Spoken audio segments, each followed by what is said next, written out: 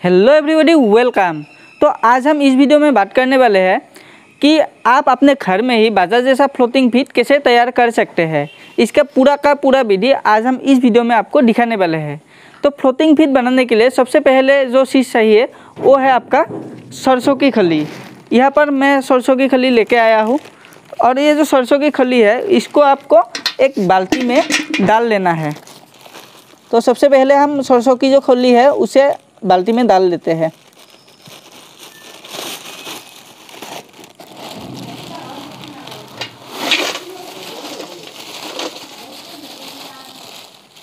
तो ये जो सरसों की खली है, ये हमने अब एक बाल्टी में डाल लिया है। अब हम क्या करेंगे, इस बाल्टी में पानी डाल देंगे।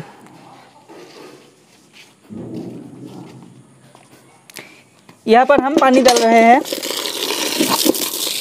और इसे हम पूरे एक रात के लिए रख देंगे। मतलब कम से कम छः से लेकर आठ घंटे तक आपको ऐसे भिगो के रखना है सरसों के खली को। ताकि ये जो सरसों की खली है ना, इसे आपको बाकी जितने भी इंग्रेडिएंट है, उसके साथ मिक्स करने में आसान हो। क्योंकि अगर आप देखते हैं कि ये जो सरसों की खली है, ये बहुत हार्ड है। तो बाकी अगर दाना के साथ अगर इसको आप मिक्स करेंगे करेंगे डायरेक्ट तो ये मिक्स नहीं होगा। इसलिए हम क्या करते हैं, इसको भिगो के रखते हैं।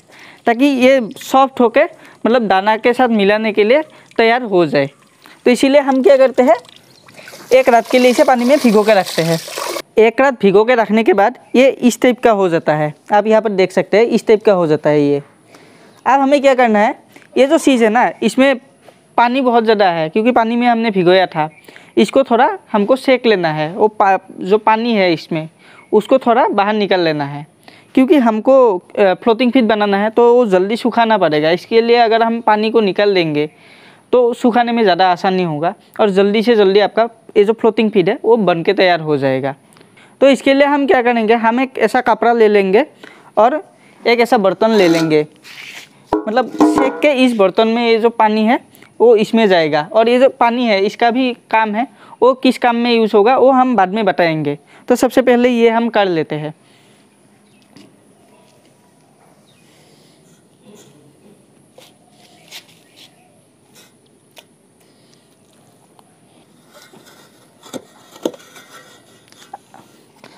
अब एक कपड़े की मदद से ऐसे आप जितना पानी हो सके वो निकल ले, वो उतना ही अच्छा है मतलब।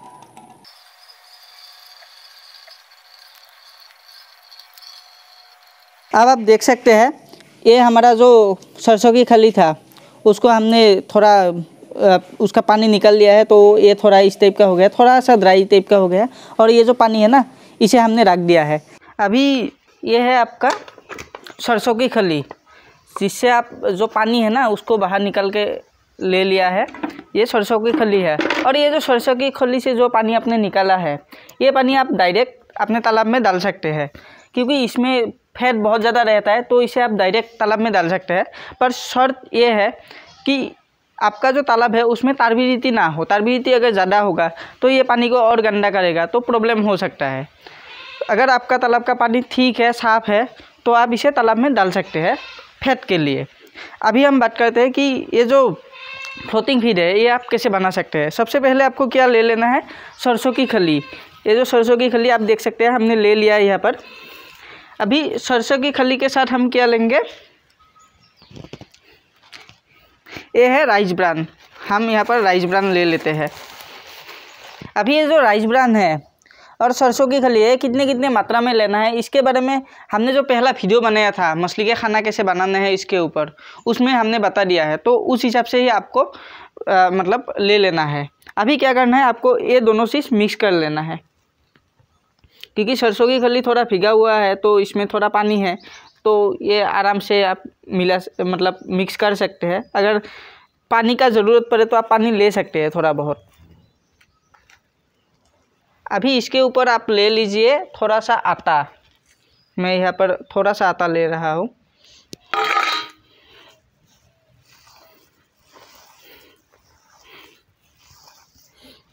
बहुत ज़्यादा नहीं लेना चाहिए आटा, थोड़ा ले लोगे तो भी हो जाएगा।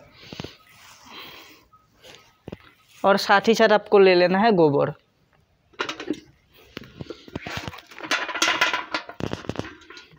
ये सब कितना कितना लेना है, ये पहले ही मैं उस वीडियो में बता चुका हूँ। उस वीडियो का लिंक आपको डिस्क्रिप्शन में भी मिल जाएगा। तो ये अच्छी तरीके से आप मिक्स कर ले।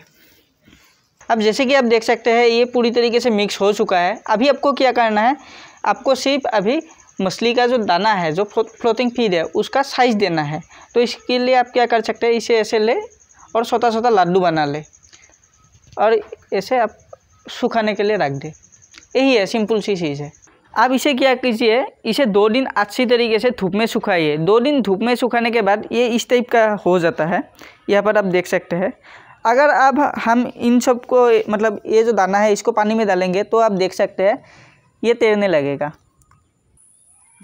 अब ये दाना तालाब में डालने के लिए बिल्कुल मतलब रेडी है।